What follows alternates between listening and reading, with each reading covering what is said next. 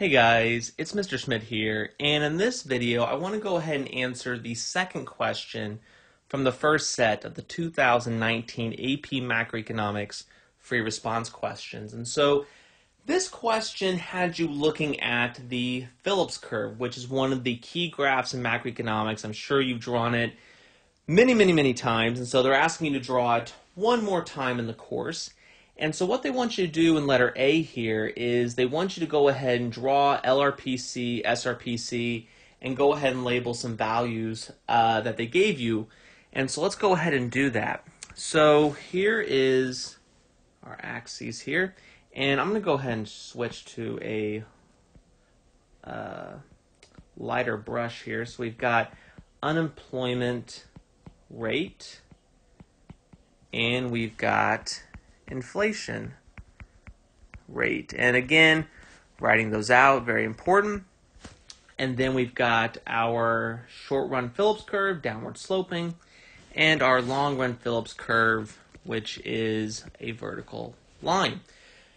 So now we've got to put these values on the graph. And there's actually four things we need to put on there. This 3%, this 6%, this 4%, and then the point X. So let's start with the uh, natural rate of unemployment, which is current, which is at four percent. So where do we put that? Well, that is the unemployment rate, basically in long run equilibrium, and so it's going to be right here where LRPC hits the uh, horizontal axis at four percent.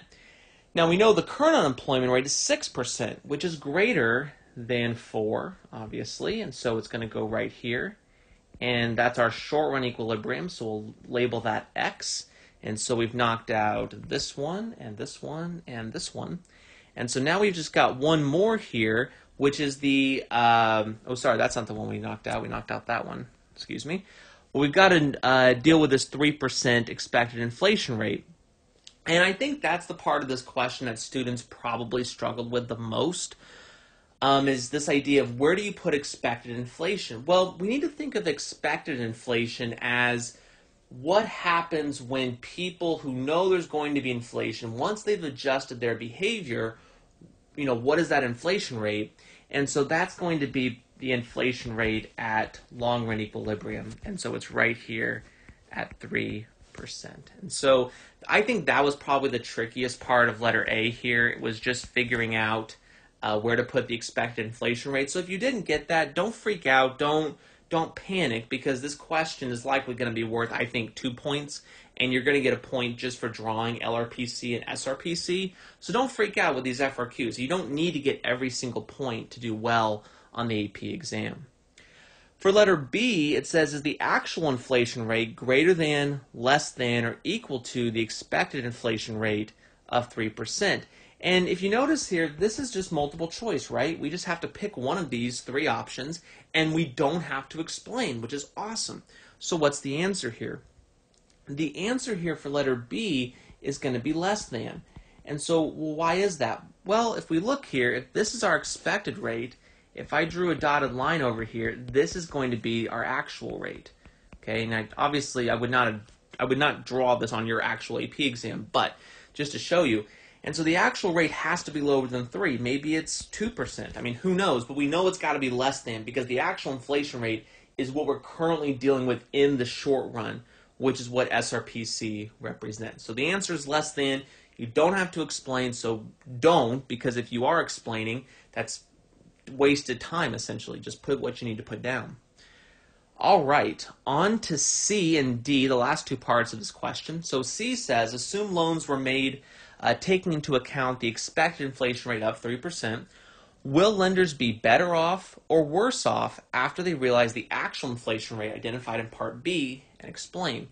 So if we look at this question, again, it's multiple choice, better off or worse off, and then we just have to explain. So for C, uh, the answer here is going to be better off. And the reason why, I mean, think back to when you talked about in the course this idea of who's helped and hurt by inflation. We know lenders are going to be hurt by inflation, right? Because the money that they get back from borrowers isn't going to be worth as much as it as it had when the lender first gave it out to the borrower. Well, in this case, if we go back to the graph for a second, we will see that the actual inflation rate is less than the expected. So lenders are like, this is great. This is great. What I thought was going to happen isn't as bad. And therefore, the money I get back in return is going to be worth more. So, in terms of explaining that, what I said, and this is kind of long winded, but lenders face a lower than expected inflation rate and will be repaid money that has greater than expected purchasing power. So again, I mean, you could probably say that in fewer words than I did, but that's just the idea that lenders are going to get their money back and that money's not going to lose as much value as it did before. So lenders like this is great. Okay.